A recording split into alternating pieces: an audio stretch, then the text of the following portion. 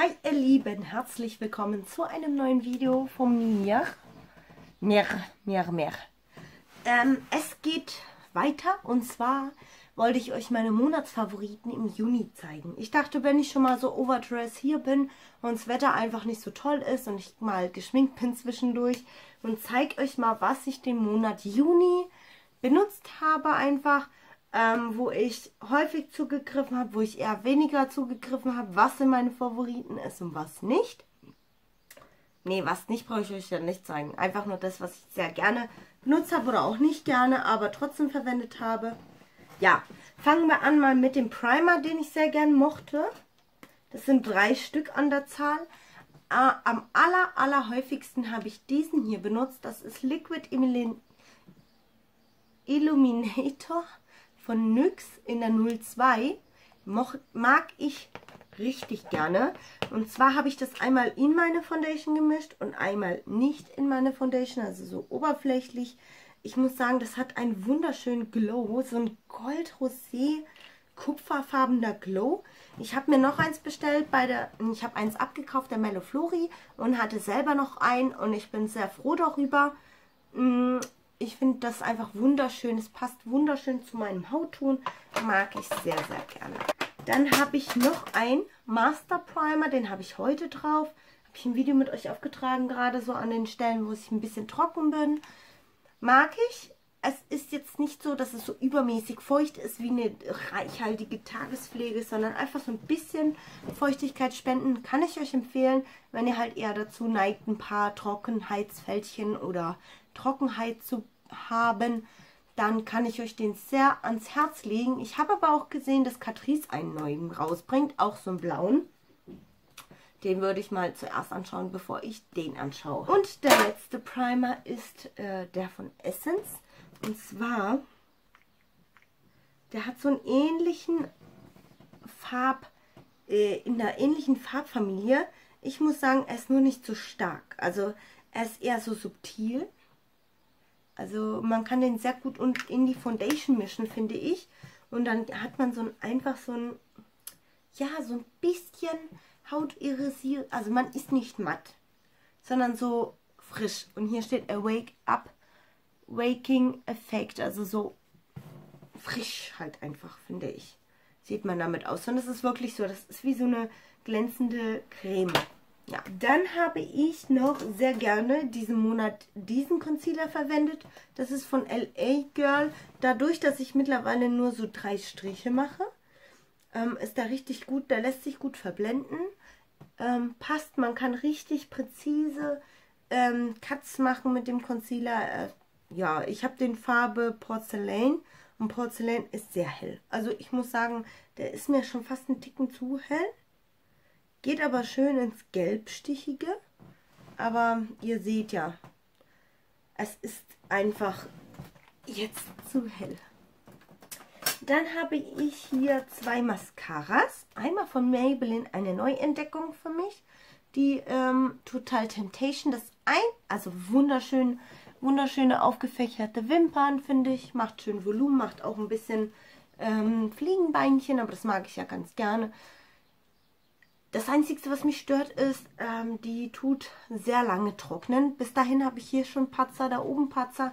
Ich musste vorher auch mit Ohrenstäbchen arbeiten. An sich finde ich aber die Mascara wirklich toll. Das heißt, wenn sie nicht so viel Feuchtigkeit abgeben würde, vielleicht wäre sie dann nicht so gut.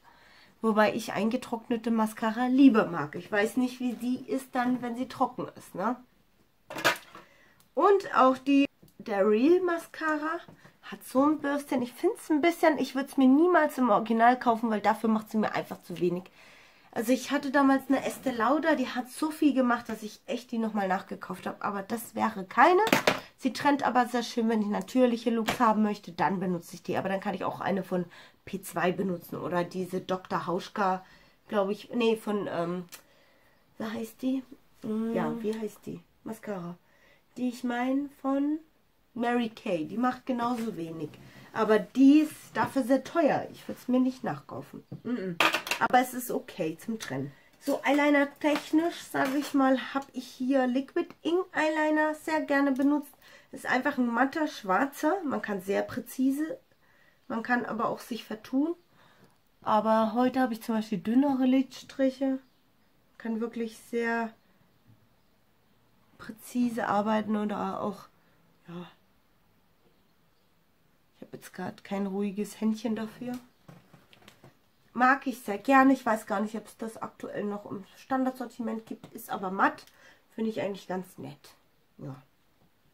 Und sehr gerne um meinen oberen und unteren Wimpern kannst du verdichten, habe ich hier das Long Lasting Eye Pencil in Hot Chocolate benutzt von Essence. Das lässt sich super zerschmatschen. Man kann oben, habe ich sehr gerne benutzt, ähm, auf der oberen Wasserlinie. Einfach damit der Wimpernkranz ein bisschen dichter ist, weil ich halt ungern Eyeliner benutze, wenn es so heiß ist. Es ist einfach, je weniger auf mein Gesicht ist, je besser. Heute sind das ähm, so ein bisschen Gewitterwolken und sowas. Da geht's. Da kann man sich schon Full Face, aber ich werde mich wahrscheinlich eher abschminken. Ist mir einfach zu schwül. Ja, dann habe ich hier noch einen Kandidat, den ich wirklich sehr schön finde. Das ist von der Lit Lingerie-Reihe. Und zwar ist es hier die Nummer 12 Bronx Mirage. Bronx Mirage. Es hat so ein ich habe das Gefühl, ich habe es euch schon mal im letzten Video gezeigt. So ein... Ich weiß es nicht. Ich kann es... Also es ist bronzig, aber wenn man ganz genau hinguckt, hat es auch noch so einen Kaki-Einschlag. Wunderschön, wunderschön. Und obendrauf habe ich auch sehr gerne diesen Monat einen Kupferton. Also so oft, wie ich mich geschminkt habe, äh, das kann ich an einer Hand abzählen diesen Monat. So oft war es nämlich aber wenn, dann habe ich wirklich äh, Gas gegeben. Diesen wunderschönen Ton hier benutzt. Das ist von Agnes B. Ich trage den da mal oben drauf auf. Und ihr seht, wie schön es sich verstärkt und wie wunderschön das so harmoniert. Und gerade in diesem braun-schwarz, es sieht einfach wunderschön aus. Ja. Ich habe auch mal nur einen Lidstrich, also einfach nur Lider abgepudert, Augenbrauen gemacht, bisschen Rouge bisschen Bronze, Lidstriche, Wimperntusche, fertig. Ja. Kommen wir mal zu den letzten paar Produkten.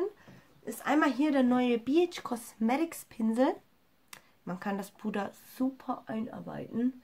Ich arbeite sehr gerne damit. Heute habe ich es nicht benutzt, weil das da unten in meiner Schatzkiste lag.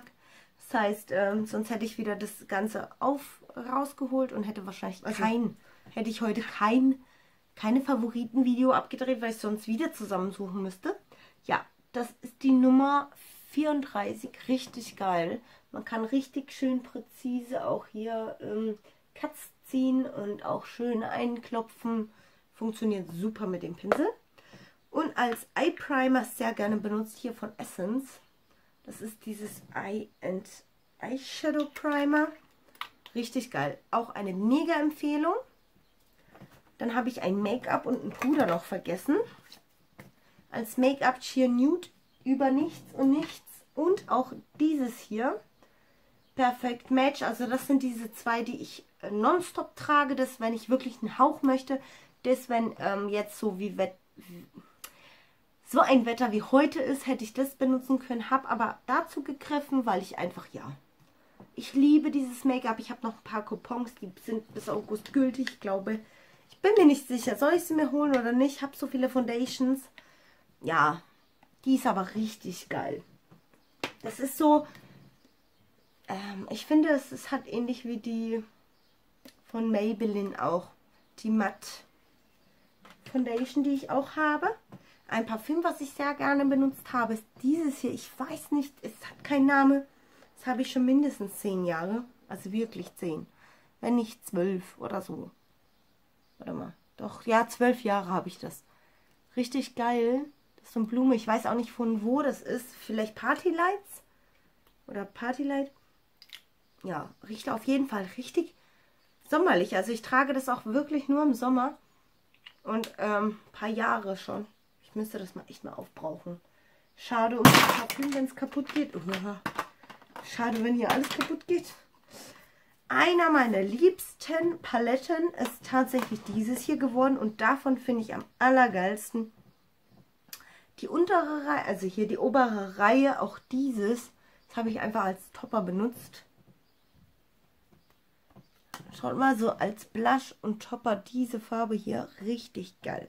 Da seht ihr nochmal diesen Lingerie mit dem richtig geil. Und hier von Essence, das ist mir auch schon total kaputt gegangen. Ich weiß auch gar nicht, wo der Deckel ist. Keine Ahnung. Das ist dieses Dream Wonder, glaube ich, heißt das. Ähm, so ist die Farbbezeichnung. 01. Und unten drunter ist ein Blush, was ich auch sehr, sehr gerne mag. Das habe ich heute drauf. Dieses Blush gepaart mit dem lilanen von der NYX Palette habe ich heute drauf. Das ist ein Highlighter wirklich fast schon so ein subtiler, aber dennoch vorhanden. Finde ich richtig schön. Da. Eigentlich ist er gar nicht so subtil, wenn man guckt, ne? Man kann den auch richtig bam in your face, aber mit diesem Blush hier drüber, das ist nämlich ziemlich matt, sieht es nämlich alles gar nicht so verkehrt aus. Schaut mal das Blush, wunderschön. Trage ich auch heute. Ja. Letztes Produkt, Nee, Quatsch, noch zwei, zwei Lidschattenpaletten. Ähm, ja, Ellen Beatrix, das lose Puder, mag ich richtig gerne. Wer hätte es gedacht? Das ist Loose Powder. 15 Gramm sind drin. Ich finde, das hat ein ähnliches Finish wie das von Manhattan. Habe ich die Wahl zwischen Manhattan und diesen hier, würde ich zu Manhattan trotzdem greifen. Aber das habe ich jetzt ausprobiert. Habe für mich ein entschlossen, es ist okay, man kann es benutzen, man ist auch etwas montiert, man ist aber auch nicht totmatt. Ja, aber nachkaufen würde ich tatsächlich das von Manhattan. Einer der Paletten, die ich auch am meisten benutzt habe, ist diese hier. Ich teste so ein bisschen gerade meine Paletten durch. Ja, würde ich nachkaufen? Ja, gefällt mir. Ich fand nur schwach auf der Brust diesen Ton hier. Und auch der kroch mir ja in, in die Fältchen. Man muss gucken. Also, aber die anderen finde ich wirklich sehr, sehr schön. Hier fehlt mir einfach ein matter Ton. Das ist nämlich kein matter, das ist so ein schimmernder lila-rosa Ton. Seht ihr das? Ja, an sich kann ich die Palette empfehlen. Ich habe gerade einen Schleier auf den Augen. Ich mag sie sehr gerne. Salbkatscher, Salb, Sub, Sub oder Salb? Culture, also von Anastasia Beverly Hills, würde ich mir nicht zulegen, weil ich diese schon so selten benutze und ich einfach mit meiner Chocolate Bar gemerkt habe, ich habe so viel Kram und benutze immer nur die günstigeren, weil ich Angst habe, dass die teuren leer gehen. Ja, nimmer normal, aber so bin ich. Und mein Highlight diesen Monat ist die Festival Palette. Ich dachte, ich brauche sie. Ich verstehe nicht, warum BH Cosmetics nicht noch mehr solcher Formen von Paletten rausbringt. Da ist wirklich was Neutrales. Ich habe letztes Mal einen komplett neutralen Look damit geschminkt. Ein Alltagslook, dann diesen Look habe ich geschminkt, noch einen anderen Look habe ich geschminkt und mich einfach mit dieser Palette ausprobiert. Bin immer noch nicht durch mit diesen wunderschönen Tönen. Kann sie aber trotzdem euch empfehlen. Denn diese Palette ist wirklich so vielseitig. Diese Palette ist so vielseitig. Und so schön von den Farben. Sie ist einfach mega pigmentiert. Also, äh, man kann nicht meckern. Schaut euch mal diese Leuchtkraft an. Du siehst richtig jedes Pigment. Ja? Also, es ist unschlagbar. Kann ich jeden ans Herz legen, würde ich immer wieder kaufen. Wenn die mir kaputt geht oder leer geht, würde ich mir nachkaufen, denn ich benutze sie wirklich öfters. Ich greife zu ihr, auch wenn sie mal da hinten liegt. Ich greife trotzdem zu ihr, die ist richtig spitze. Bei BH Cosmetics. Denkt an die Prozente. Ja, so ihr Lieben, das war es auch tatsächlich mit meinen Favoriten. Ich hoffe, es hat euch nach wie vor Spaß gemacht mit meinen Favoriten. Ich liebe diese Videoformat. Aufgebraucht Video, äh, Monatsfavoriten und Schminktutorials, weil man muss sich nicht immer gleich alles kaufen. Ich bin gerade auf dem Sparmodus. Habe aber noch eine Bestellung aufgegeben bei Cosmetic for Less. Ja. Und dann ist aber auch Tudi bis zum Urlaub. Ja. Genau. Mir doch mal bitte ganz kurz noch, was ihr für Favoriten habt. Oder verlinkt mich gerne da drauf. Oder ähm, schreibt mir unten, dass ihr auch Favoriten habt. Ich schaue auf jeden Fall mir eure Favoriten an. Ciao, ihr Lieben. Ich hoffe, das war nicht so wie war, wie immer. Schnell, schnell, schnell und nichts passiert. Ciao.